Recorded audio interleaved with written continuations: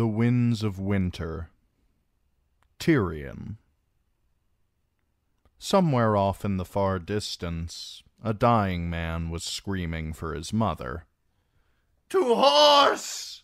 A man was yelling in Giscari, in the next camp to the north of the Second Sons. To horse! To horse! High and shrill, his voice carried a long way in the morning air, far beyond its own encampment. Tyrion knew just enough Giscari to understand the words, but the fear in his voice would have been plain in any tongue. I know how he feels. It was time to find his own horse, he knew. Time to don some dead boy's armor, buckle on a sword and dagger, slip his dinted great helm down over his head. Dawn had broken, and a sliver of the rising sun was visible behind the city's walls and towers, blindingly bright. To the west, the stars were fading, one by one. Trumpets were blowing along the Skahazadhan, war horns answering from the walls of Meereen. A ship was sinking in the river mouth, a fire. Dead men and dragons were moving through the sky, whilst warships crashed and clashed on Slaver's Bay. Tyrion could not see them from here, but he could hear the sounds the crash of hull against hull as ships slammed together, the deep throated war horns of the Ironborn and queer high whistles of Qarth, the splintering of oars, the shouts and battle cries, the crash of axe on armor, sword on shield, all mingled with the shrieks of wounded men. Many of the ships were still far out in the bay, so the sounds they made seemed faint and far away, but he knew them all the same. The music of slaughter. Three hundred yards from where he stood rose the wicked sister, her long arms swinging up with a clutch of corpses. Chunk thump! And there they flew, naked and swollen, pale dead birds tumbling boneless through the air. The siege camp shimmered in a gaudy haze of rose and gold, but the famous stepped pyramids of Meereen hulked black against the glare. Something was moving atop one of them, he saw. A dragon. But which one? At this distance, it could as easily have been an eagle. A very big eagle. After days spent hidden inside musty tents of the Second Sons, the outside air smelled fresh and clear. Though he could not see the bay from where he stood, the tang of salt told him it was near. Tyrion filled his lungs with it. A fine day for a battle. From the east, the sound of drumming rolled across the parched plain. A column of mounted men flashed past the harridan, flying the blue banners of the wind blown. A younger man might have found it all exhilarating, a stupider man might have thought it grand and glorious, right up to the moment when some arse-ugly Yunkish slave soldier with rings in his nipples planted an axe between his eyes. Tyrion Lannister knew better. The gods did not fashion me to wield a sword, he thought. So why do they keep putting me in the midst of battles? No one heard. No one answered. No one cared. Tyrion found himself thinking back on his first battle. Shae had been the first to stir, woken by his father's trumpets. The sweet strumpet who'd pleasured him for half the night had trembled naked in his arms, a frightened child. Or was all that a lie as well? A ploy she used to make me feel brave and brilliant? What a mummer she might have been. When Tyrion had shouted out for Podrick Payne to help him with his armor, he'd found the boy asleep and snoring. Not the quickest lad I've ever known, but a decent squire in the end. I hope he found a better man to serve. It was queer, but Tyrion remembered the Green Fork much better than the Blackwater. You never forget your first. He remembered the fog drifting off the river wending through the reeds like pale white fingers. And the beauty of that sunrise, he remembered that as well. Stars strewn across a purple sky, the grass glittering like glass with the morning dew, red splendor in the east. He remembered the touch of Shae's fingers as she helped Pod with Tyrion's mismatched armor. That bloody helm, like a bucket with a spike. That spike had saved him, though, had won him his first victory. But Groat and Penny had never looked half as silly as he must have looked that day. Shae had called him fearsome when she saw him in his steel, mind you. How could I have been so blind, so deaf, so stupid? I should have known better than to do my thinking with my cock. The second sons were saddling their horses. They went about it calmly, unhurriedly, efficiently. It was nothing they had not done a hundred times before. A few of them were passing a skin from hand to hand, though whether it was wine or water he could not say. Bokkoko was kissing his lover shamelessly, kneading the boy's buttocks with one huge hand, the other tangled in his hair. Behind them, Sir Garibald was brushing out the mane of his big gelding. Kem sat on a rock, gazing at the ground, remembering his dead brother, perhaps, or dreaming of that friend back in King's Landing. Hammer and Nail moved from man to man, checking spears and swords, adjusting armor, putting an edge on any blade that needed it. Snatch chewed his sour leaf, making japes and scratching at his balls with his hook hand. Something about his manner reminded Tyrion of Bronn. Sir Bronn of the Blackwater now unless my sisters killed him. That might not be quite so simple as she thinks. He wondered how many battles these second sons had fought. How many skirmishes, how many raids, how many cities have they stormed, how many brothers have they buried or left behind to rot. Compared to them, Tyrion was still a green boy, still untested, though he had counted more years than half the company. This would be his third battle. Seasoned and blooded, stamped and sealed, a proven warrior, that's me. I've killed some men and wounded others, taken wounds myself and lived to tell of them. I've led charges, heard men scream my name, cut down bigger men and better, even had a few small tastes of glory. And wasn't that a fine, rich wine for heroes? and wouldn't I like another taste? Yet with all he'd done and all he'd seen, the prospect of another battle made his blood run cold. He had traveled across half the world by way of palanquin, pole boat, and pig, sailed in slave ships and trading galleys, mounted whores and horses, all the time telling himself that he did not care whether he lived or died, only to find that he cared quite a lot after all. The stranger had mounted his pale mare and was riding toward them with his sword in hand, but Tyrion Lannister did not care to meet with him again. Not now. Not yet. Not this day. What a fraud you are, imp. You let a hundred guardsmen rape your wife, shot your father through the belly with a quarrel, twisted a golden chain around your lover's throat until her face turned black, Yet somehow you still think that you deserve to live. Penny was already in her armor when Tyrion slipped back inside the tent they shared. She had been strapping herself into wooden plate for years in service to her mummery. Real plate and mail were not so different once you mastered all the clasps and buckles. And if the company steel was dinted here and rusted there, scratched and stained and discolored, no matter. It should still be good enough to stop a sword. The only piece she had not donned was her helm. When he entered, she looked up. You're not armored. What's happening?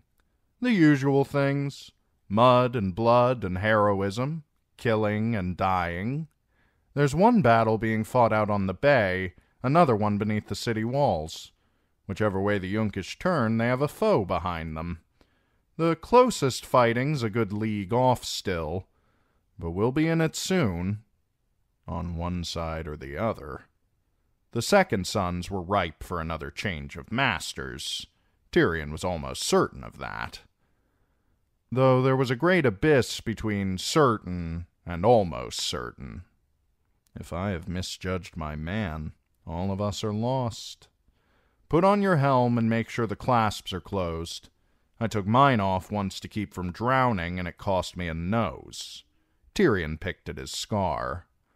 We need to get you into your armor first. If you wish. The jerkin first, the boiled leather with the iron studs. Ringmail over that, then the gorget. He glanced about the tent. Is there wine? No. We had half a flagon left from supper. A quarter of a flagon, and you drank it. He sighed. I would sell my sister for a cup of wine. You would sell your sister for a cup of horse piss. That was so unexpected that it made him laugh aloud. Is my taste for horse piss so well known, or have you met my sister? I only saw her that one time when we jousted for the boy king. Groat thought she was beautiful. Groat was a stunted little lickspittle with a stupid name. Only a fool rides into battle sober. Plum will have some wine. What if he dies in the battle? It would be a crime to waste it.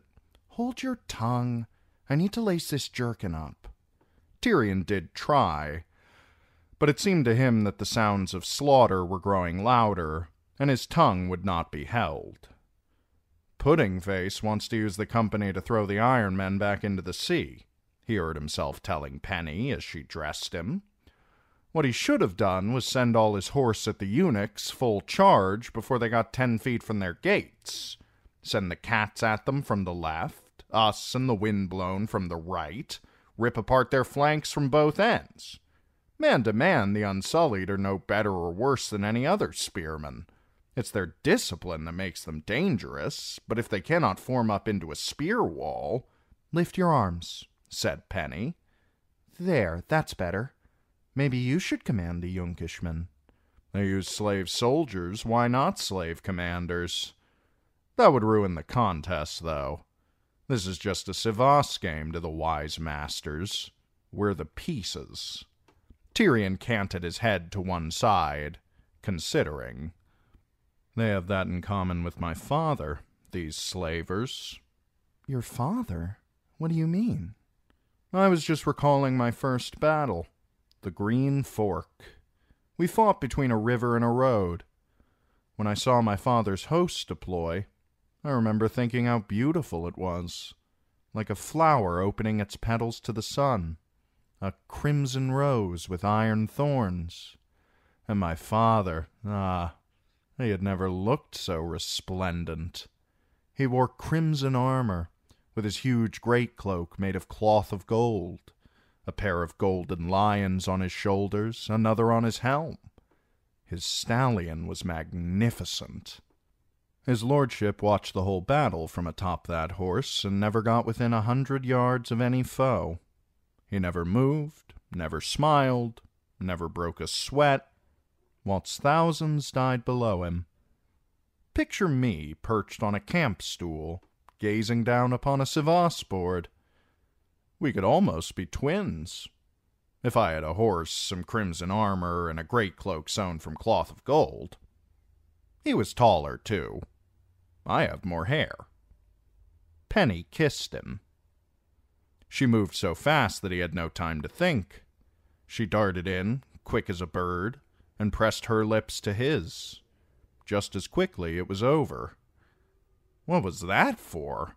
he almost said, but he knew what it was for. Thank you, he might have said, but she might take that as leave to do it again. Child, I have no wish to hurt you. He could have tried. But Penny was no child, and his wishes would not blunt the cut. For the first time for longer than he cared to think, Tyrion Lannister was at a loss for words. She looks so young, he thought. A girl, that's all she is. A girl, and almost pretty if you can forget that she's a dwarf. Her hair was a warm brown, thick and curly, and her eyes were large and trusting. too trusting. Do you hear that sound? said Tyrion. She listened. What is it? she said as she was strapping a pair of mismatched greaves onto his stunted legs. War. On either side of us and not a league away. That's slaughter, Penny. That's men stumbling through the mud with their entrails hanging out. That's severed limbs and broken bones and pools of blood. You know how the worms come out after a hard rain? I hear they do the same after a big battle if enough blood soaks into the ground. That's the stranger coming, Penny. The black goat, the pale child, him of many faces, call him what you will. That's death. You're scaring me. Am I? Good. You should be scared. We have Ironborn swarming ashore, and Sir Barristan and his Unsullied pouring out the city gates, with us between them fighting on the wrong bloody side. I am terrified myself. You say that, but you still make japes. Japes are one way to keep the fear away. Wine's another. You're brave. Little people can be brave. My giant of Lannister, he heard. She is mocking me. He almost slapped her again. His head was pounding. I never meant to make you angry, Penny said. Forgive me. I'm frightened, is all. She touched his hand. Tyrion wrenched away from her. I'm frightened. Those were the same words Shae had used. Her eyes were big as eggs, and I swallowed every bit of it. I knew what she was. I told Bronn to find a woman for me, and he brought me Shae. His hands curled into fists, and Shae's face swam before him, grinning. Then the chain was tightening about her throat, the golden hands digging deep into her flesh as her own hands fluttered against his face with all the force of butterflies. If he'd had a chain to hand, if he'd had a crossbow, a dagger, anything, he would have. He might have. He. It was only then that Tyrion heard the shouts. He was lost in a black rage, drowning in a sea of memory, but the shouting brought the world back in a rush. He opened his hands, took a breath, turned away from Penny. Something's happening. He went outside to discover what it was. Dragons. The green beast was circling above the bay, banking and turning as longships and galleys clashed and burned below him. But it was the white dragon the sellswords were gawking at. Three hundred yards away, the wicked sister swung her arm. Chunk thump! And six fresh corpses went dancing through the sky. Up they rose, and up, and up. Then two burst into flame. The dragon caught one burning body just as it began to fall, crunching it between his jaws as pale fires ran across his teeth. White wings cracked against the morning air, and the beast began to climb again. The second corpse caromed off an outstretched claw and plunged straight down, to land amongst some Yunkish horsemen.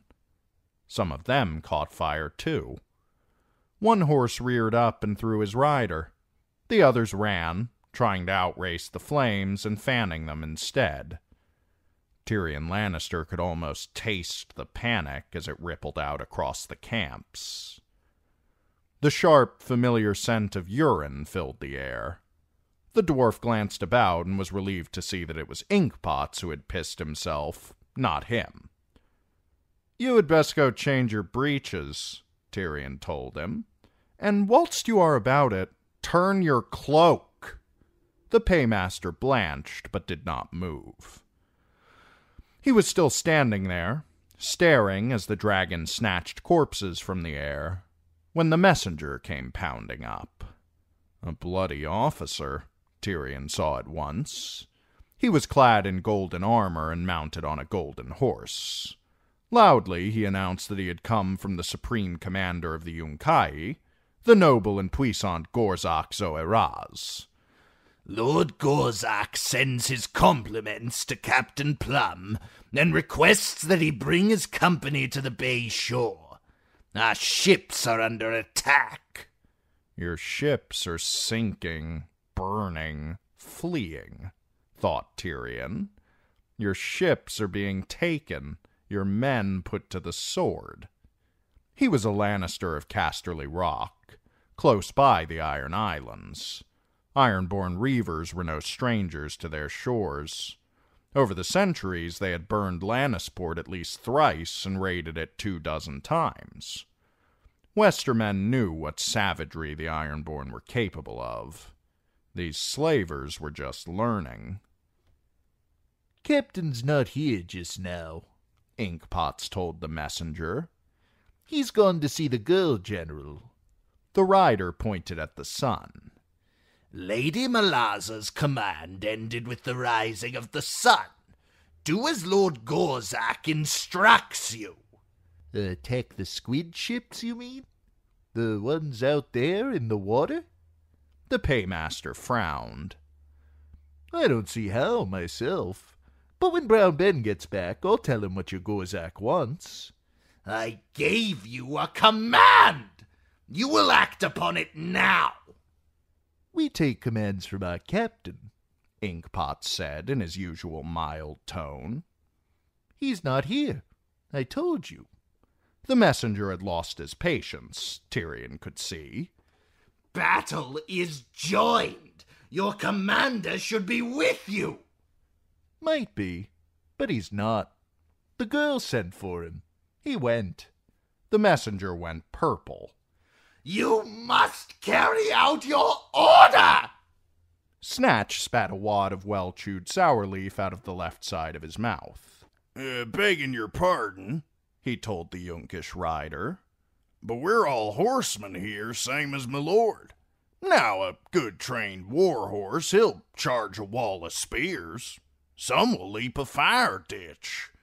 But I never once seen any horse could run on water. The ships are landing men! screamed the Yunkish lordling. They've blocked the mouth of the Skahazadhan with a fire ship, and every moment you stand here talking, another hundred swords come splashing through the shallows. Assemble your men and drive them back into the sea at once. Gorzak commands it. Which one is Gorzak? asked Kem. Is he the rabbit? Pudding face, said Inkpots. The rabbit's not fool enough to send light horse against long ships. The rider had heard enough. I shall inform Gorzak zo Eraz that you refuse to carry out his order, he said stiffly. Then he wheeled his golden horse around and galloped back the way he'd come, chased by a gale of sellsword laughter. Inkpots was the first to let his smile die. Enough, he said, suddenly solemn. Back to it. Get those horses saddled. I want every man of you ready to ride when Ben gets back here with some proper orders. And put that cook fire out. You could break your fasts after the fighting's done if you live that long. His gaze fell on Tyrion. What are you grinning at? You look a little fool in that armor, half man. Better to look a fool than to be one, the dwarf replied. We are on the losing side. The half man's right, said Jorah Mormont. We do not want to be fighting for the slavers when Daenerys returns. And she will, make no mistake. Strike now and strike hard, and the queen will not forget it. Find her hostages and free them. And I will swear on the honor of my house and home that this was Brown Ben's plan from the beginning. Out on the waters of Slaver's Bay, another of the Qartheen galleys went up in a sudden whoosh of flame. Tyrion could hear elephants trumpeting to the east. The arms of the six sisters rose and fell, throwing corpses. Shield slammed against shield as two spear walls came together beneath the walls of Meereen. Dragons wheeled overhead, their shadows sweeping across the upturned faces of friend and foe alike. Inkpots threw up his hands. I keep the books. I guard our gold. I draw up our agreements, collect our wages, make certain that we have sufficient coin to buy provisions.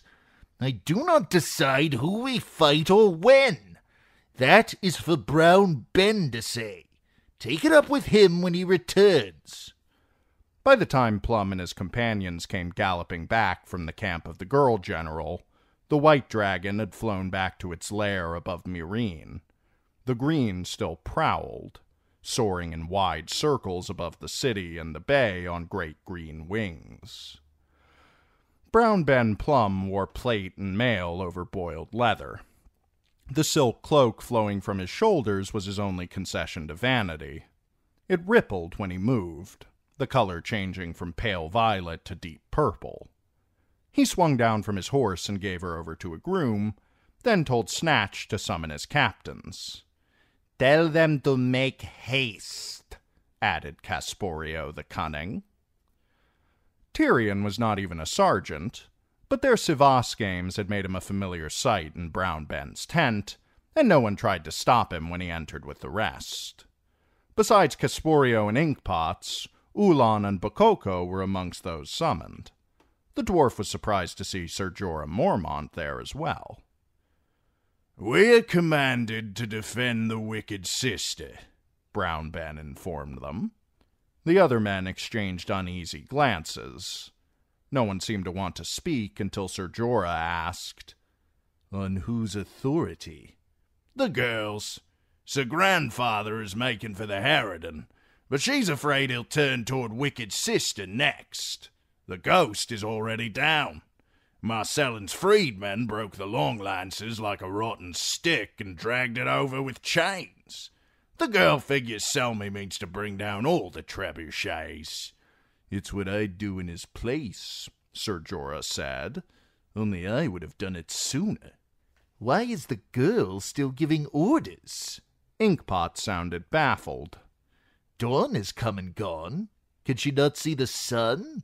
She's behaving as if she was still the supreme commander. If you were her and knew that Pudding Face were about to assume command, you might keep giving orders too, said Mormont. One is no better than the other, Kasporio insisted. True, said Tyrion, but Malazza has the nicer teats. Crossbows is how you hold the wicked sister, Inkpot said. Scorpions, mangonels, that's what's needed. You do not use mounted men to defend a fixed position. Does the girl mean for us to dismount? If so, why not use her spears or slingers?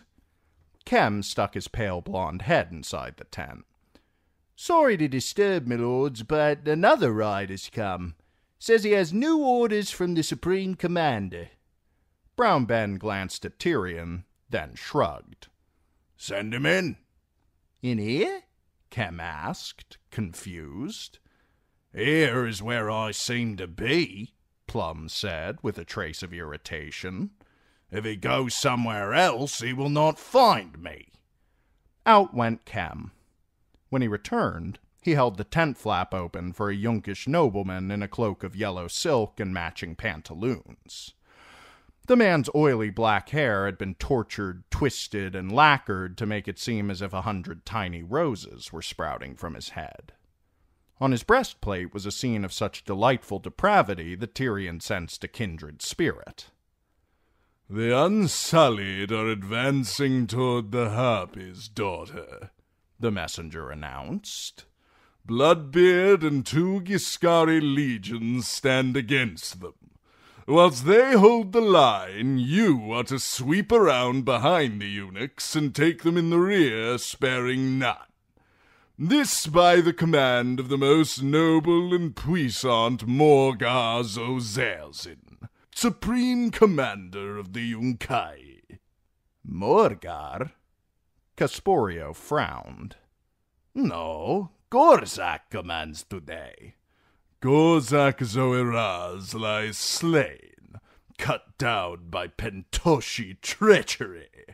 The turncloak who names himself the Prince of Tatters shall die screaming for this infamy, the noble Morgar swears. Brown Ben scratched at his beard. The windblown have gone over, have they? he said, in a tone of mild interest. Tyrion chortled. And we've traded Pudding Face for the drunken conqueror. It's a wonder he was able to crawl out of the flagon long enough to give a halfway sensible command. The Yunkishman glared at the dwarf. Hold your tongue, you verminous little. His retort withered. This insolent dwarf is an escaped slave, he declared, shocked. He is the property of the noble Yezanzo Kagaz of hallowed memory. You are mistaken. He is my brother in arms, a free man and a second son. Yezzan slaves wear golden collars. Brown Ben smiled his most amiable smile. Golden collars with little bells. Do you hear bells? I hear no bells. Collars can be removed. I demand that the dwarf be surrendered for punishment at once. That seems harsh. Jorah, what do you think? This. Mormont's longsword was in his hand. As the rider turned, Sir Jorah thrust it through his throat. The point came out the back of the Yunkishman's neck, red and wet. Blood bubbled from his lips and down his chin. The man took two wobbly steps and fell across the cyvasse board, scattering the wooden armies everywhere. He twitched a few more times, grasping the blade of Mormont's sword with one hand as the other clawed feebly at the overturned table. Only then did the Yunkishman seem to realize he was dead. He lay face down on the carpet in a welter of red blood and oily black roses. Sir Jorah wrenched his sword free of the dead man's neck. Blood ran down its fullers. The white cyvasse dragon ended up at Tyrion's feet. He scooped it off the carpet and wiped it on his sleeve, but some of the Yunkish blood had collected in the fine grooves of the carving, so the pale wood seemed veined with red. All hail our beloved Queen Daenerys. Be she alive or be she dead. He tossed the bloody dragon in the air, caught it, grinned. We have always been the Queen's men, announced Brown Ben Plum. Rejoining the Yunkai was just a ploy. And what a clever ploy it was. Tyrion gave the dead man a shove with his boot. If that breastplate fits, I want it.